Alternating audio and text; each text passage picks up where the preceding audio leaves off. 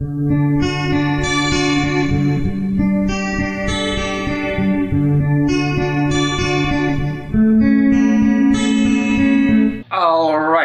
there is yet another Ubuntu based distribution that has been released into the wild.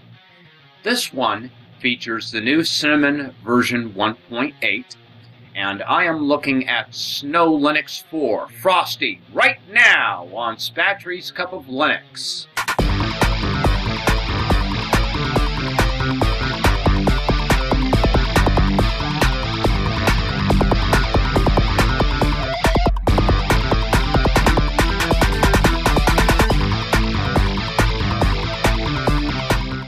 Okay, let's begin. I just installed this in my virtual machine and I figured I'd have a little look at this and uh, see what kind of things that Frosty brings to the table here. Now, according to their website, this is running the latest Mint 1.8. This also has uh, the Linux kernel 3.8. It's based on Ubuntu 13.02, which was clearly evident when I ran the installer because uh, the the dialogues in the installer and the slideshow looked like Ubuntu, plain and simple. Okay, but this is what you get.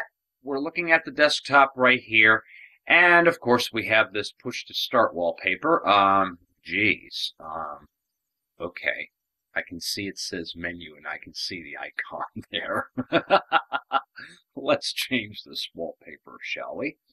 So we'll right click on the uh, desktop here, change desktop background, and you will see they have a lovely assortment of wallpapers to choose from. So I guess we'll just stick with the main wallpaper because, well, we should. so let's just go into all settings here.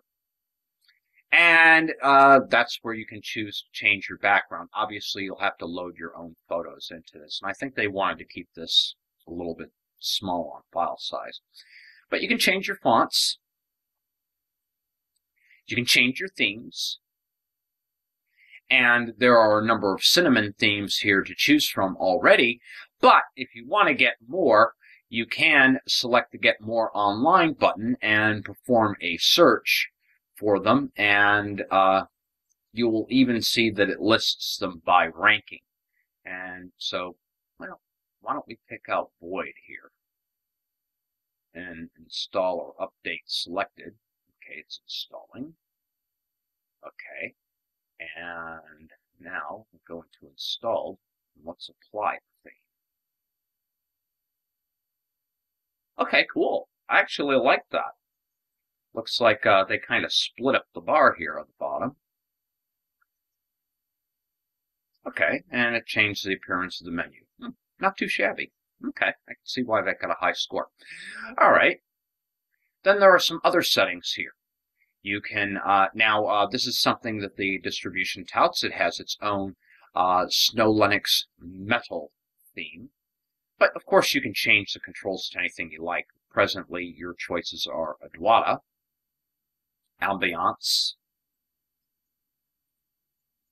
high contrast, which is, well, really ugly, but it is what it is, radiance, then we can go back to the snow uh, theme.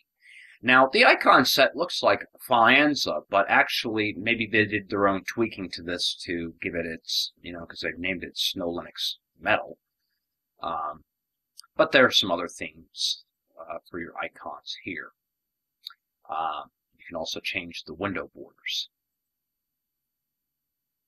Number of those to choose from. You can change your mouse pointer. Hmm. It's not changing. Okay, well, it is what it is. And then, of course, you can uh, set different key bindings for this if you want to. You can have it show icons in menus or not, and show icons on buttons or not.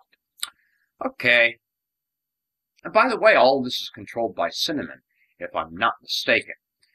All right, then uh, you can go into your uh, preferences where applets are concerned, and you can add or remove different applets to your panel.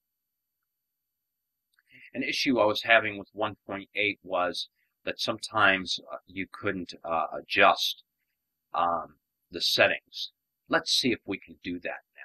So by going into settings here and editing the panel mode, okay, now maybe we can adjust some settings.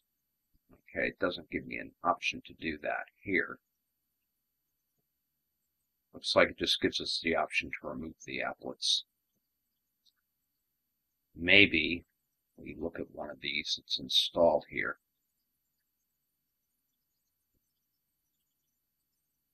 See, okay, we can edit the menu now.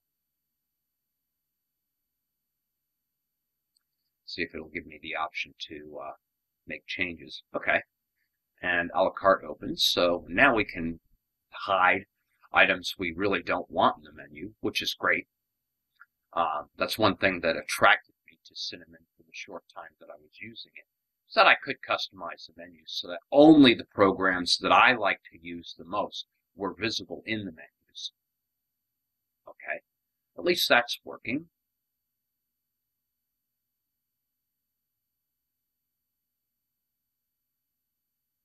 Let's see if we can add an applet and see if I can remember which one that I had that was giving me a little trouble to see if that has been fixed.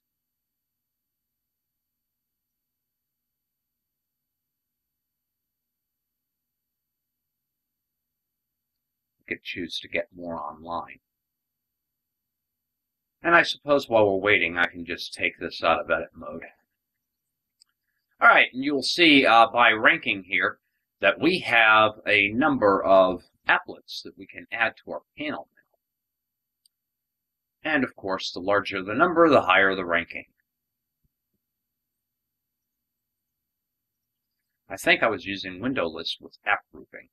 That was giving me an issue, so let's go ahead and install that one.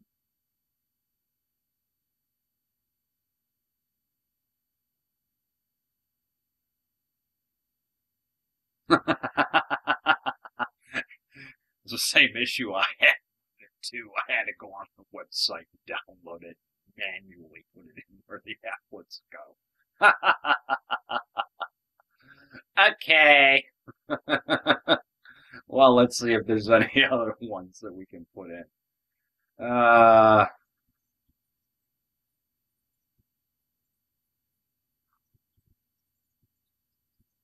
okay, how about a system monitor applet? We'll install our updates selected there. Ugh. Okay, so it looks like uh, Linux Mint uh, hasn't really, uh, you know, or, uh, yeah, Linux Mint who makes Cinnamon. Well, so it kind of looks like that uh, we'll have to wait for some more updates to Cinnamon to come out before uh, this will actually grab these and install them for you. you gotta, looks like you still got to do this manually. All right, well, let's go ahead and take a quick look at what you get with this. So we'll click on our menu and do what the sign says, push to start.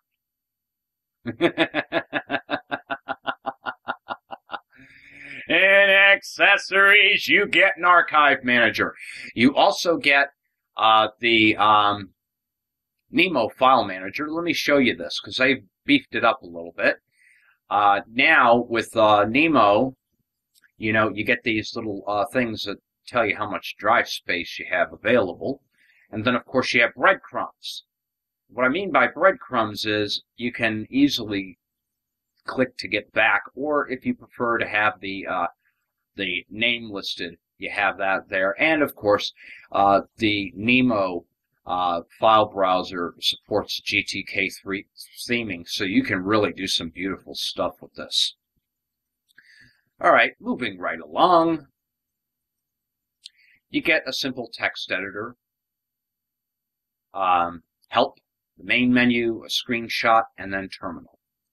In administration, you get a simple firewall configuration utility, a software updater, system testing, the Ubuntu Software Center, and you can manage your user accounts. In graphics, you get a document viewer, LibreOffice Draw, Shotwell, and Simple Scan. Internet, Firefox, Pidgin, Thunderbird, and Transmission. You get the full LibreOffice suite with a document viewer as mentioned before. From here, you can manage all of your preferences, but you can also manage them just by simply right-clicking on your desktop as I demonstrated at the beginning of the video, and you can get to uh, pretty much all of these settings that way. All right, in uh, sound and video, you get Brasero for making copy coasters, I mean burning CDs or DVDs, Rhythmbox, a sound recorder, and a video player. Okay, and then in System Tools, you get um, Dconf Editor, definitely handy if you're going to be doing any tweaking with this system. With Dconf Editor, you can tweak the uh, file manager to have additional functions, that sort of thing. Okay, a system monitor and a few other little tools here. And then, of course, quick launch to all of your places and uh, your recent files. Does this really bring anything exciting or new to the table here? Not really.